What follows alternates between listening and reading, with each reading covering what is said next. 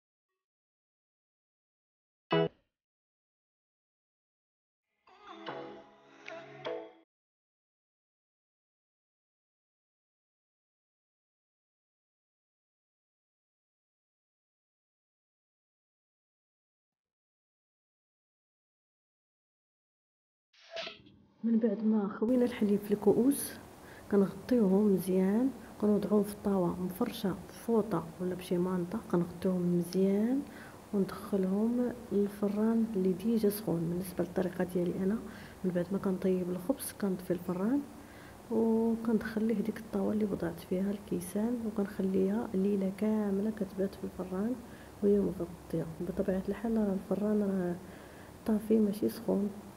كنخليه